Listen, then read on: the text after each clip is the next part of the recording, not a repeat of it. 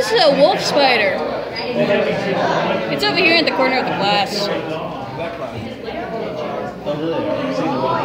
What a great thing.